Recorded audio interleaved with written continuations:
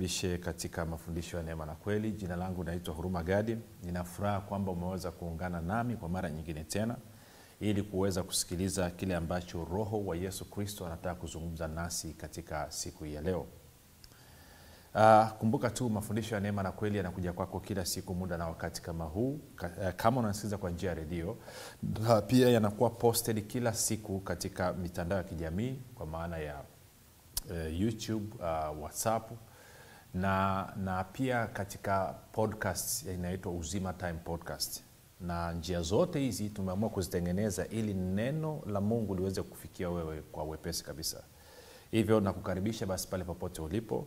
Ukizingatia nataka kujua nataka ujue kwamba uh, vipindi ama mafundisho ya neema na kweli yametengenezwa maksusi kwa ajili ya kujenga imani yako wewe unayenisikiliza ili uweze kukua na kufika katika cheo cha kimo cha utumilifu wa kristo. Kwa lugha nyingine ufike mahali uweze kufikiri kama kristo uweze kuzungumza kama kristo na uweze kutenda kama kristo.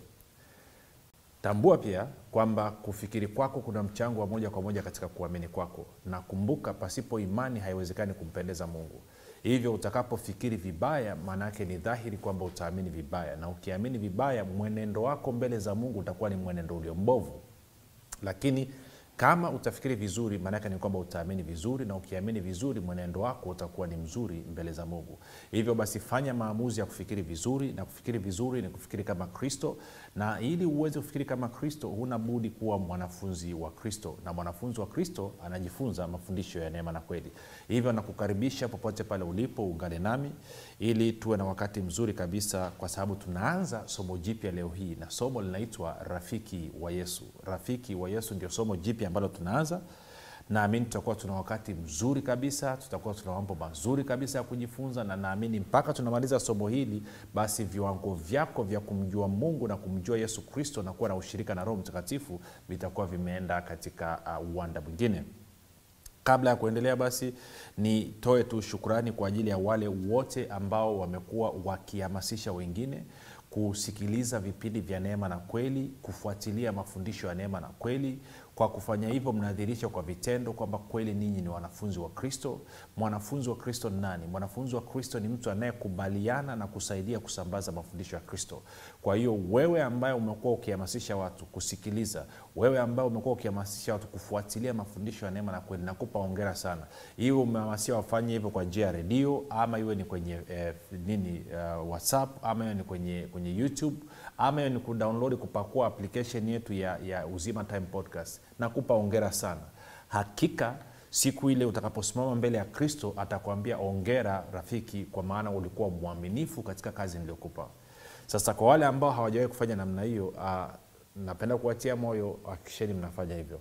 Lakini pia nishukuru kwa ajili ya wale wote ambao wamekuwa wakifanya maombi kwa ajili ya vipindi vya neema na kweli kwa ajili ya wasikilizaji wa neema na kweli kwa ajili ya kwangu mimi pamoja na timu yangu. Tunasema asante sana kwa maombi yenu.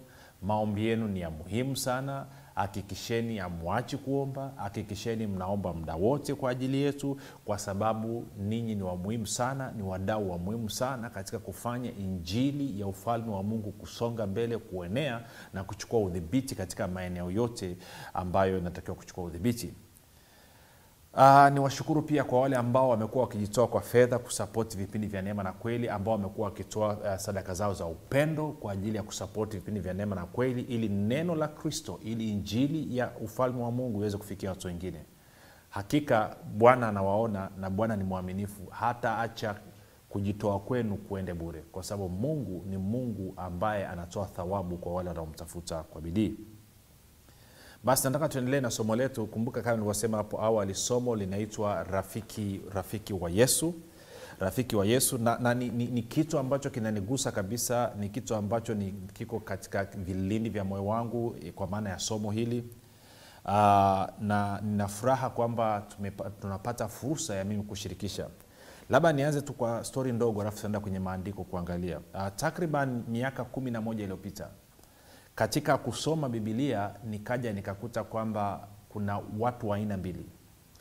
Kwa maana ya unapokuwa umezaliwa mara ya pili kuna wanafunzi wa aina mbili ama kuna wafuasi wa yesu kristo wa aina mbili. Kuna wafuasi wa kundi la kwanza ambao ni watumwa na kuna kundi la pili ambao ni marafiki na baada ya kusoma na kuchambua nikafanya maamuzi ya dhati kabisa kwamba mimi nataka kuwa rafiki wa yesu. Sitaki kuwa mtumwa wa yesu. Na unasema kwani na tofauti gani? Na tofauti kubwa sana.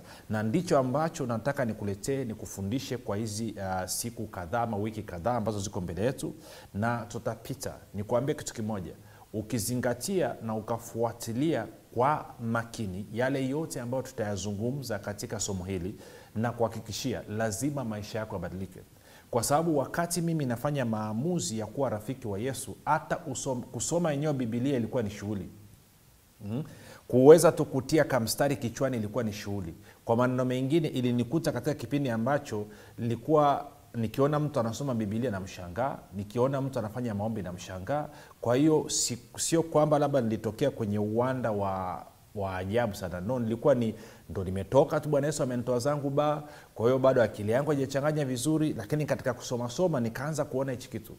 Na hivyo nikaamua nikasema bwana yesu kama kweli hichi unachokisema ndicho kilivyo kwamba inawezekana mimi nikawa rafiki yako basi nataka kuwa rafiki yako. Nafanya maamuzi leo hii ya kuwa rafiki yako na tangu wakati huo nikaanza kujiita rafiki wa yesu. Naambia tu watu kila mtu nikutana nampa ushuhuda. Ambia bwana we rafiki wa yesu ama ni mtumwa wa yesu?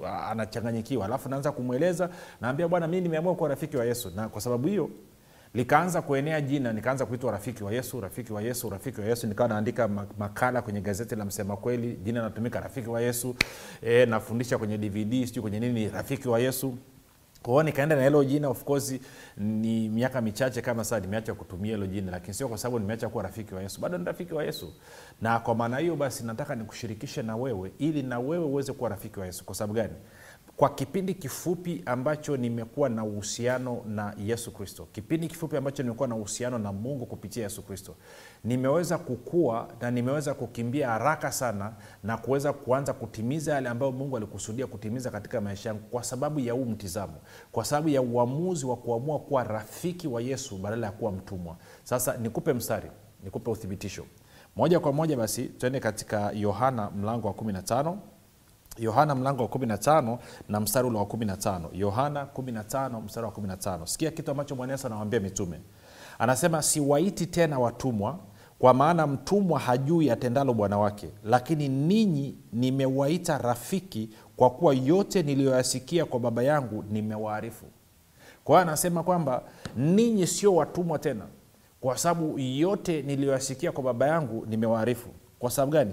Mtumwa sikiliza mtumwa ha, hawajui Ehe.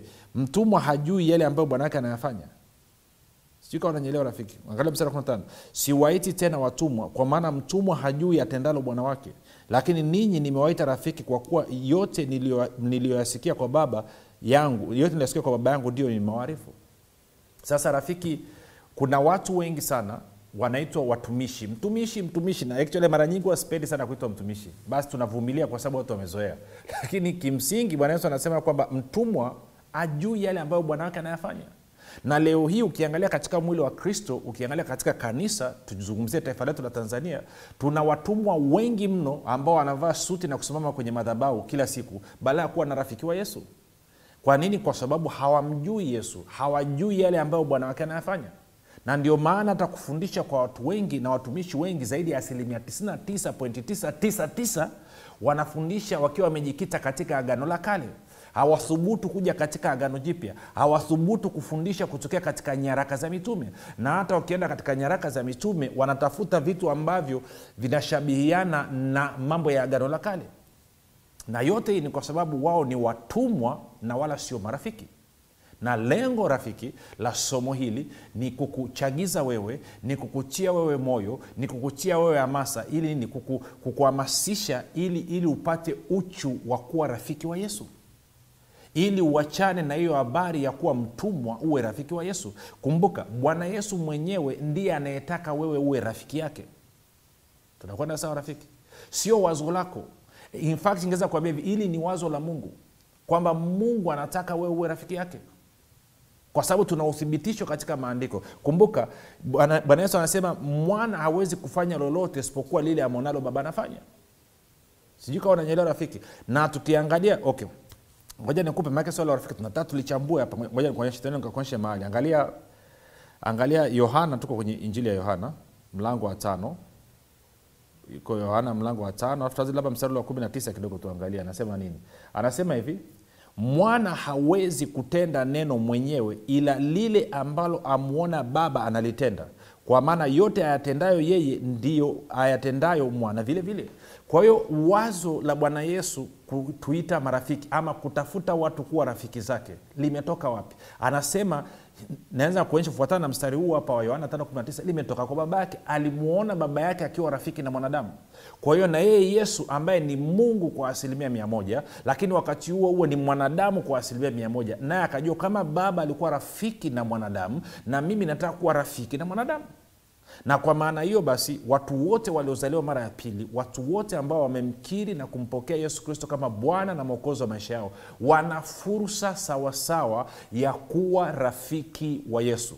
Sasa mimi nayezungumza na wewe mimi ni rafiki yake na yesu. Na nimeanza kuwa rafiki wa yesu tangu mwaka elfu mbili na tisa. Kwa hiyo wewe haujachelewa bado. Na wewe una fursa hiyo ya kuwa rafiki wa yesu.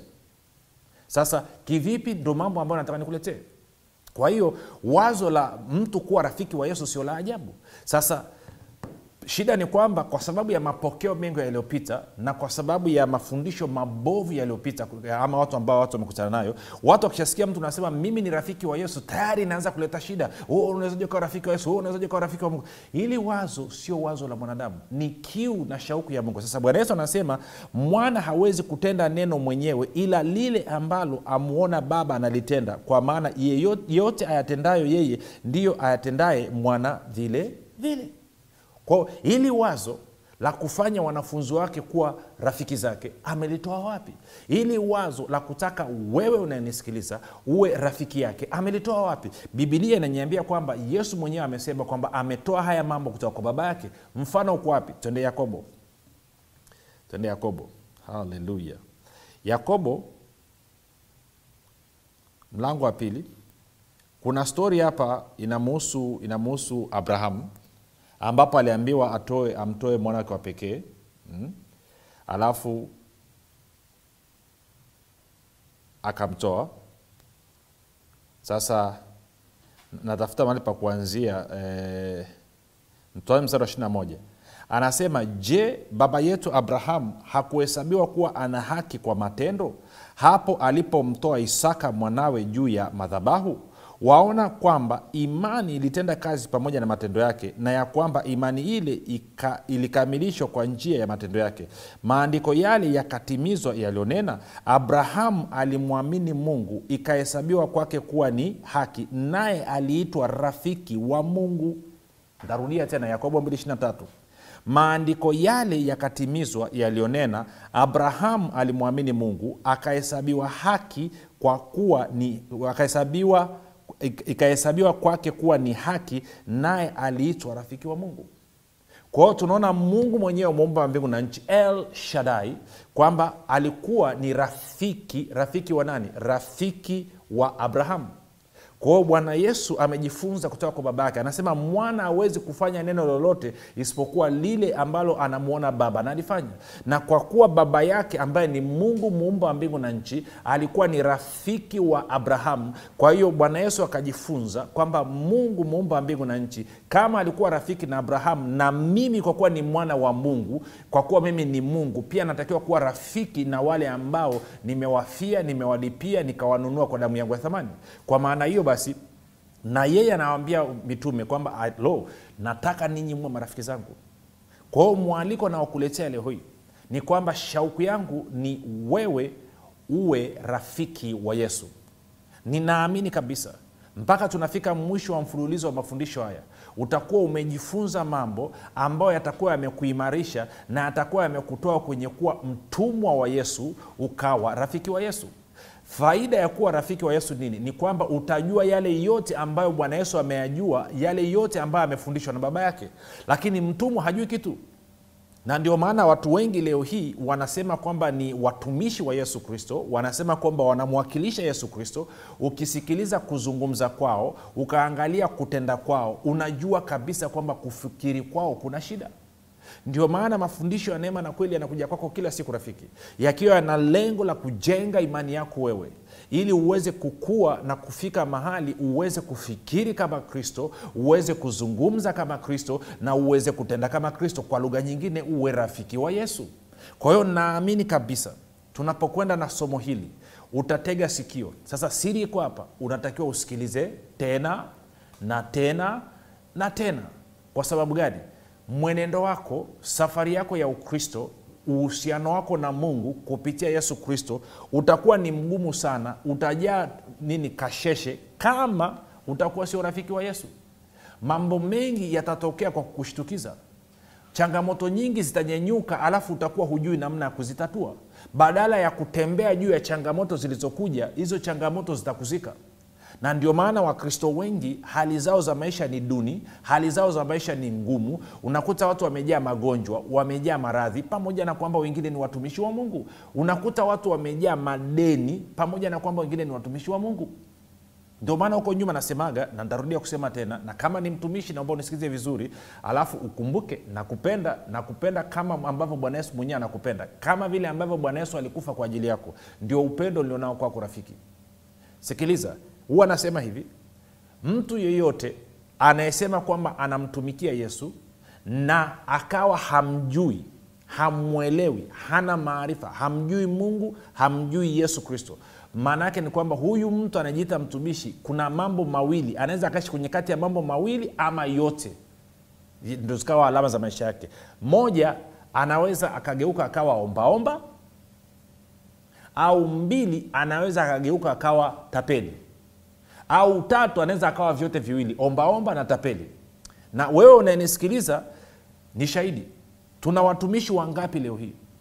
Ni ombaomba kazi yao ni kutengeneza fomu kila siku na kupita kuchangisha hata kwa watu ambao sio waamini kama yeye.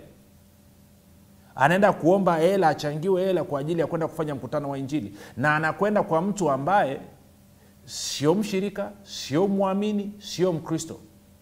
Sasa nikuulize swali kama umekuja kwangu okay tufanye hivi. Wewe ni mtumishi umetengeneza fomu yako unachangisha hela mtaani huko unapokaa alafu umeenda dukani kwa mtu ambaye ni mpagani. Nitoa tu huo mfano. Alafu huyu mpagani amekuchangia shilingi elfu ishirini akasaini pale. Alafu baada ya miezi mitatu huyu mpagani huyu huyu naye akawa ana shughuli yake ya kwenda kufanya ambayo inahusu labda anaenda kufanya matambiko kwa miungu yake kwa hiyo anahitaji kujenga kwenye kihenge ambacho wanakutania na kufanya ibada zao. Naye amekuja kutafuta msaada kwako mchango wa hela kwako. Utachukua ama hautachukua? Amini utampa ama hautampa? Na kama hautampa kwa nini? Kwa nini huo ulichukua za kwake? Kwa nini sasa hivi unakataa kumpa? Ah, si unasema "Ah, mimi siwezi kumpa siwezi kushiriki kwenye ibada ya sanamu. Lakini hela yake unaitaka. Hela yake imetoka wapi? Hela yake nayo imetoka kwenye ibada ya sanamu.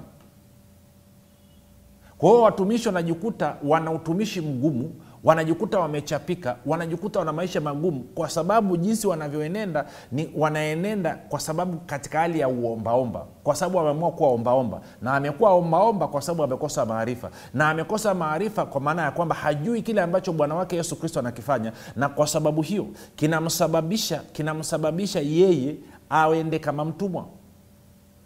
Na kwa maana hiyo sio rafiki wa yesu. Kwao mimi nakuita uwe rafiki wa yesu. Na kualika uwe rafiki wa yesu wengine wamekuwa ni matapeli. Tuna watumishi wangapi leo wanatapeli watu? Ukienda kwake anakwambia kwamba na chupa za mafuta anauza hapa. Sasa kumbuka kutumia mafuta sio kosa wala sio dhambi iko kwenye bibilia kwa wale ambao wanapinga tu bila kuwa na maarifa naenda kasome bibilia yako. Marko mlango wa sita naenda kasome. Uangalie mstari wa kumi na tatu utaona mitume walikuwa wakitumia mafuta kuponya watu naenda kwenye yakobo tano kumi na nne utaona walikuwa yani, yakobo anasema mtu akiwa mgonjwa ite wazee wa kanisa nawaja wakumwombea wakimpaka mafuta na kwa imani kwa jina la yesu kristo bwana atamnyenyua ni kitu ambacho ko kwenye bibilia lakini shida inakuja pale ambapo sasa watu wanataka kugeuza imani za watu ziende kwenye mafuta na sio kwa yesu. Na kwa maneo wanaanza kuuza mafuta. Chupa hii hapa shilingi elfu hamsini. Chupa hii hapa shilingi laki mbili. Chupa hii hapa shilingi laki tano unamuuliza mtumishi kwani bei zimetofautiana? Hii hapa nimeiombea siku saba hii hapa nimeombea siku ishiri na moja hii hapa nimeombea siku arobaini. Huo ni utapeli tu. Huo ni utapeli. Bibilia inasema mmepewa bure toeni bure. Kama ungekuwa wewe ni rafiki wa yesu usingekubali kumuumiza yesu ambaye ni bwana wako. Usingekubali. Usingekubali kufanya mambo ambayo yanadhalilisha jina lake usingefanya mambo ambayo watu waanze kuwa na taswira mbovu taswira mbaya ya kuanza kumchukia yesu kiasi kwamba watu wakisikia habari ya, ya, ya, ya, ya, ya injili wakisikia habari ya maubiri wanaanza kuwa anasema ni swala kupenda hela. Usimgeuze yesu bwana wako kuwa yesu mpenda fedha. Yesu ni mwokozi wa ulimwengu. Amekuja kutoa ajaja kuchukua. Tunakwenda sawa rafiki? Sasa yote haya na mikanganyiko yote ni kwa sababu watu hawajawa rafiki wa mungu sasa angalia hii hapa. Tuko kwenye, kwenye, kwenye yakobo mbili. Anasema mstari wa ishina tatu. Maandiko yale yakatimizwa yalionena. Wakanza mstari wa ishina moja. Je baba yetu abrahamu akuhesabiwa kuwa ana haki kwa matendo? Hapo alipomtoa isaka mwanawe juu ya madhabau ishina mbili. Waona kwamba imani ilitenda kazi pamoja na matendo yake na ya kwamba imani ile ikakamilishwa kwa njia ya matendo yale kwa anasema imani ambayo imeambatana na matendo inasababisha mtu akamilishwe. Kwa anasema maandiko yale yakatimizwa yaliyonena abrahamu alimwamini mungu ikahesabiwa kwake kuwa ni haki naye aliitwa rafiki wa mungu. Kwa hiyo abrahamu aliitwa rafiki wa mungu kwa sababu alipata haki inayopatikana kwa imani. Sio haki inayopatikana kwa juhudi binafsi. Sio haki inayopatikana kwa matendo ya sheria lakini haki inayopatikana kwa imani aliamini kile ambacho mungu amesema aliamini kuwa mungu ana uwezo wa kumhesabia haki mtu ambaye sio mtakatifu. Ana uwezo wa kumhesabia haki mtu ambaye ni mwovu. Kasome warumi nne ukaanze mstari ule wa kwanza uende mpaka mstari wa tano. Kwao kwa kitendo kile abrahamu akaamini. Abrahamu wakati anaiswa na mungu. Kumbuka huyu ni mkaldayo alikuwa uri ya wakaldayo anaabudu mwezi na wakaldayo ni wachawi. Alikuwa ameoa dada yake wa kufikia. Kwa hiyo vitu vyote hivyo ni chukizo la uharibifu mbele za mungu. Lakini bado mungu akamwita akaambia abrahamu nataka kulifanya jina lako liwe kubwa nataka nikufanye uwe taifa kubwa nataka nikufanye uwe baraka kwa dunia nzima. Abrahamu akaamini akakubali akaambia uzao wako utakuwa kama nyota za mbinguni. Abrahamu akaamini akakubali. Mwanzo 15 mstari wa sita. Abrahamu akaamini pasipo kuangalia matendo yake pasipo kuangalia chochote. Akamwangalia mungu ambaye amemwita. Akasema kwamba mungu pamoja na kwamba sielewi najua wewe ni mwaminifu. Umesema kuwa mii ni mwenye haki kwa hiyo mimi nakubali ni mwenye haki. Pamoja na matendo yangu nikiangalia hayaeleweki. Anasema kitendo hicho cha abrahamu kumwaminia mungu kumwamini mungu anayewahesabia haki watu wasiokuwa watakatifu. Maanaake kwa sababu ya imani yao kwa yesu kristo anasema akapewa nini? Haki. Na kwa maana hiyo akawa rafiki wa mungu. Kwao na sisi ambao tumetia imani yetu kwa yesu kristo sisi ambao tumemwamini yesu kristo. Kusoma wagalatia 216 anasema tumepata haki kwa sababu ya imani yetu kwa yesu kristo. Na kwa sababu hiyo na sisi tunakuwa marafiki wa mungu. Sa swali ni hili. Wewe unajiona ni nani? Je ni rafiki wa yesu ama ni mtumwa wa yesu? Na kama bado ni mtumwa wa yesu lini utafanya maamuzi ya kuwa rafiki wa yesu kwa sababu kiu na shauku ya yesu kiu na shauku ya mungu muumba wa mbingu na nchi ni wewe uwe rafiki yake. Ana shauku mno anatamani mno wewe uwe rafiki yake. Anakuhitaji mno wewe kuwa rafiki yake. Anataka mno wewe uwe rafiki yake ameshafanya kazi kubwa ya kukuokoa ameshafanya kazi kubwa ya kukulipia akakutoa utumwani akakuhamisha kutoka katika nguvu za giza akakuingiza katika ufalme wa mwana wa pendo lake. Leo hii shauku yake na wito wake kwako ni wewe uwe rafiki yake. Na rafiki rafiki wa kweli katika hali na mali. Si? Katika hali na mali rafiki wa kweli. Je utakubali huo mwaliko leo rafiki? Uko tayari kubali kuwa rafiki wa yesu? Kama uko tayari kuwa rafiki wa yesu hebu fanya maombi yafuatayo pamoja nani ili yesu kristo aingie ndani ya maisha yako alafu mwanze safari upya ya urafiki. Sema mungu wa mbinguni nimesikia habari njema. Asante kwa kuwa ni kiu yako na shauku yako kuwa rafiki yangu. Leo hii naamini kabisa kwamba yesu kristo ni mwanao. Alikufa msalabani ili aondoe dhambi zangu. Kisha akafufuka mimi niwe mwenye haki. Ee bwana yesu ninakukaribisha katika maisha yangu. Uwe bwana na mwokozi wa maisha yangu. Leo nachagua kuwa rafiki yako. Asante kwa maana mimi sasa ni mwana wa mungu na mimi sasa ni rafiki yako. Amen rafiki au umefanya ya maombi mafupi? Naomba tuandikie tujulishe. Nataka tujue marafiki wa yesu wameongezeka wangapi siku ya leo. Tuma message sema leo mimi nimekuwa rafiki wa yesu. Na unavyotuma hiyo meseji basi yesu kristo na neema yake na nguvu ya roho mtakatifu anakutunza mpaka siku atakapokuja. Mpaka hapo tumefika mwisho. Jina langu naitwa huruma gadi. Kumbuka yesu ni kristo popote pale ulipo.